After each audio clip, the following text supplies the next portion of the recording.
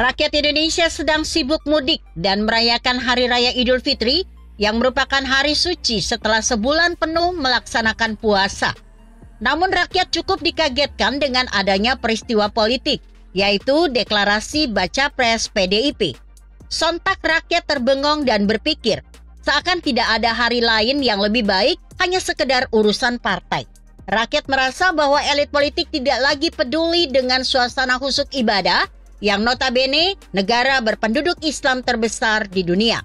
Liburan lebaran berlalu dan kita coba singkat peristiwa deklarasi baca pres PDIP di Batu Tulis, Bogor. Peristiwa yang seakan mendadak sehingga Presiden Jokowi yang baru beberapa saat tiba di Solo harus secepatnya kembali ke Jakarta untuk menghadiri hajatan partai tersebut. Prosesi deklarasi baca pres PDIP tentunya diliput berbagai media televisi dan cetak. Ada hal yang menarik dari liputan televisi terhadap Presiden Jokowi, yaitu wajah dan gestur Presiden tidak tampak gembira, bahkan seperti ada beban atau mungkin kecapean. Hal ini diulas beberapa pengamat dengan berbagai argumen dan kesan. Satu hari setelah deklarasi baca pres tersebut, kita melihat di hari pertama Idul Fitri, kunjungan silaturahmi Pak Prabowo Subianto kepada Presiden Jokowi di Solo. Pak Prabowo satu-satunya tamu yang diterima Pak Jokowi di hari pertama Lebaran. Sungguh sangat spesial Pak Prabowo di mata Presiden. Dalam kunjungan Pak Prabowo, suasana terlihat sangat berbeda. Sambutan Presiden Jokowi dan keluarga penuh kehangatan dan keakraban kepada Pak Prabowo yang didampingi putranya. Suasana penuh senyum dan keikhlasan terlihat di antara kedua keluarga yang telah cukup lama saling mengenal Bahkan Mas Kaisang, putra Presiden Jokowi, melayani dengan menuang nasi di piring Pak Prabowo sehingga viral di medsos. Dua kejadian kontras ini terlihat nyata di mata rakyat, sehingga para tokoh elit politik dan media ramai mengulas suasana yang sangat kontras tersebut. Semua saling adu tafsir dan dugaan apa yang sebenarnya dirasakan oleh Pak Jokowi khususnya. Sebab bila kita melihat ke belakang, sudah sangat banyak sekali peristiwa keakraban. Kebersamaan Presiden Jokowi dan Pak Prabowo, keduanya sering tampak tertawa terbahak, saling memuji bahkan Kepala Badan Intelijen Negara Pak Budi Gunawan sampai membuat pernyataan bahwa sebagian aura Pak Jokowi sudah pindah ke Pak Prabowo. Saya jadi teringat saat debat Pilpres 2019, Presiden Jokowi menyampaikan, Pak Prabowo, saya ini senang naik sepeda, kadang rantainya putus. Namun, yakinlah Pak Prabowo bahwa tali persahabatan kita tidak akan pernah putus. Saya yang kebetulan juga lahir dan besar di Solo ingin menguak apa sebenarnya yang terjadi dilihat dari sisi suasana batin tersebut. Saya melihat bahwa hati Pak Jokowi sangat akrab dan tulus dengan Pak Prabowo, begitu pula sebaliknya.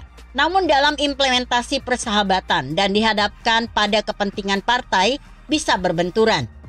Satu sisi batin keduanya ingin menjaga persahabatan dan satu sisi ada kepentingan partai yang harus diikuti mungkin tidak sejalan dan itu adalah hal yang wajar.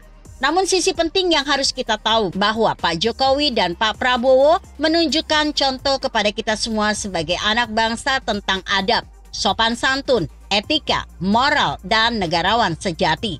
Lalu ke mana kira-kira arah dukungan Pak Jokowi akan lebih besar? Bila kita menilik hal di atas, sudah tampak jelas dan fakta bahwa hubungan emosional antara Pak Jokowi dan Pak Prabowo sudah sangat dekat bagai sebuah keluarga, sebab terjalin sangat lama sejak Pak Jokowi menjadi wali kota Solo. Selanjutnya kita akan menganalisa hal tersebut berkaitan dengan Pilpres 2024. Saat ini sudah ada tiga baca pres yang telah dideklarasikan oleh partai pendukungnya. Hal tersebut tentunya menjadi pertimbangan Pak Jokowi sebab beliau akan mengakhiri masa jabatan Oktober tahun 2024. Berbagai hal tentunya harus dipertimbangkan dengan baik dan matang dari segala aspek secara komprehensif. Pak Jokowi tentu berpikir presiden terpilih nanti harus seorang yang mengerti persis permasalahan bangsa, tahu persis tentang geostrategis, geopolitik, geoekonomi, dan percaturan dunia internasional.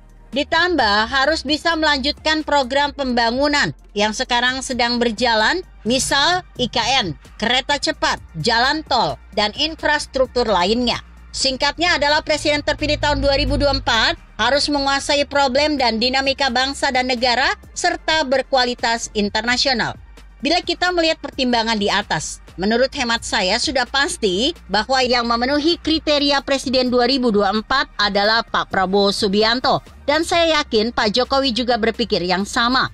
Sedangkan baca pres yang lain adalah orang baik yang dipersiapkan untuk menggantikan Pak Prabowo. Sehingga proses kepemimpinan akan terjaga secara bertahap, bertingkat, dan berlanjut.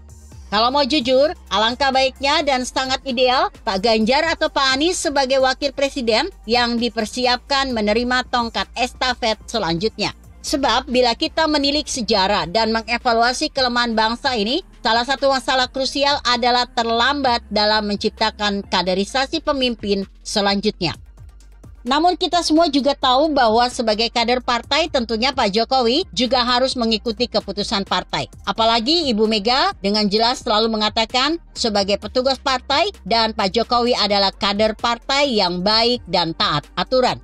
Dihadapkan dua hal tersebut di atas, maka saya melihat dan menduga serta yakin bahwa Pak Jokowi akan mengambil jalan tengah yang baik dan bijak untuk semuanya, yaitu tetap mendukung baca pres yang menguasai problematika bangsa dan berskala internasional adalah Pak Prabowo serta tetap mendukung keputusan partai PDIP. Sehingga langkah nyata yang Pak Jokowi lakukan adalah memberikan kebebasan seluasnya kepada para relawan untuk menentukan sikapnya. Para relawan Pak Jokowi seperti menangkap sinyalemen ini. Maka tak heran dimulai dengan Projo, Jokowi Mania atau Joman, dan banyak lagi relawan Pak Jokowi pindah memilih mendukung Prabowo Subianto guna mewujudkan seorang presiden 2024 yang menguasai problematika bangsa dan berskala internasional. Sekarang semua ada di tangan rakyat, sebab rakyat akan memberi mandat kepada baca pres dan yang paling penting rakyat juga mempunyai hak mutlak untuk menunjuk petugas partai sebagai seorang pemimpin negara. Semoga pemilu 2024 berjalan bersih, transparan, jujur, dan adil, sehingga siapa pun yang terpilih adalah pencerminan pilihan rakyat. Marilah kita jaga dan berpesta demokrasi dengan gembira dan menjaga persatuan bangsa. Semoga Tuhan Yang Maha Esa senantiasa memberikan petunjuk, bimbingan, dan perlindungan kepada bangsa dan negara Indonesia tercinta. Begitu kira-kira. Artikel ini ditulis Aris Marsudianto yang disadur dari ermol.id dengan judul Membaca Persimpangan Batin Antara Presiden Jokowi dan Prabowo. Bagaimana menurut Anda? Jika Anda berpendapat lain, tuliskan komentar Anda di bawah ini. Saya Emma, Karisma 90.